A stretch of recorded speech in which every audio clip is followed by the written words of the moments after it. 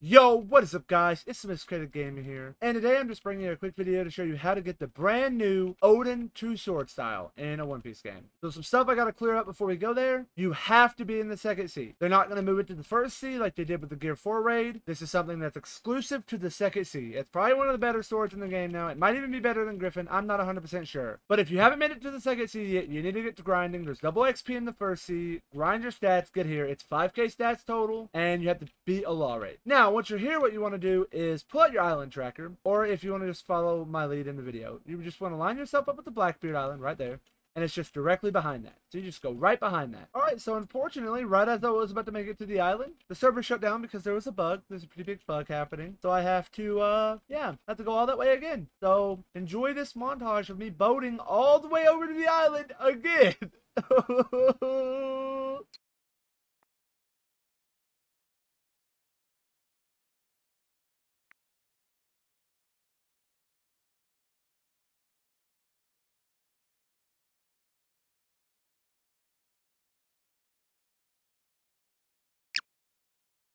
All right, we are finally here. It took forever, or it felt like forever at least. The first things first, you want to set your spawn 100%. Set it like 500 times. Now, this is up to you if you want to come here and grind out, but just otherwise, just skip this quest giver because he's just for the lower tier NPCs here. What you want to go for is right over there.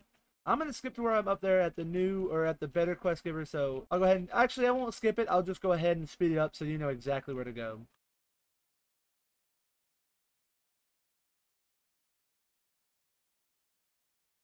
All right, so once you're here, this is up to you as well. You don't have to do this, but you can go ahead and click this dude right here and he will give you the quest for Oden. This will give you over 600 mil whenever you actually complete the quest. I've already tested it once. It's insane. It's so much money. But next, you just want to make yourself make your way all the way up the hill. Right here's another NPC. It's not Oden, but this person does drop an accessory. I'm not too sure about the accessories right now. I have a video coming out about those later. But for now, there's her. Her accessory is, I think, something called like a fan of war or something. I'm not 100% sure. Then you just want to make your way all the way up here. Then you can see Oden has spawned in right there. So the way I personally plan on doing it for now because I'd like to get him grinded out a couple times tonight at least. Running back and forth with the observation haki on and whatnot, and then just getting out of his range when it's about to end, like this right here. And then look how far he went. That's his spawn location. This is where I'm at right now. You know, now that I'm looking at it, there might not even be a way to really cheese this dude. Like, look at that. He is, holy crap, he is so far away. If I shot him from here, would he aggro? Let's find out.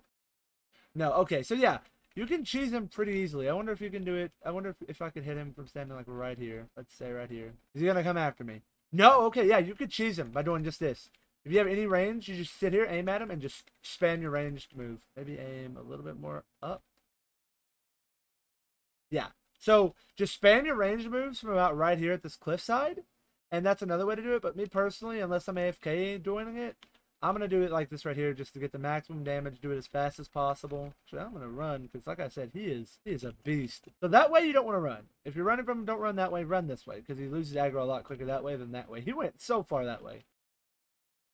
And boom, I went ahead and beat him. You see 605 mil. That's insane. But he has a 1% chance to drop his brand new swords. As soon as I get them, I'll drop a video showcasing them and showing you all the damage they do. Yeah, that's really it for the video. Thanks for watching, and I'll see you guys later. Peace.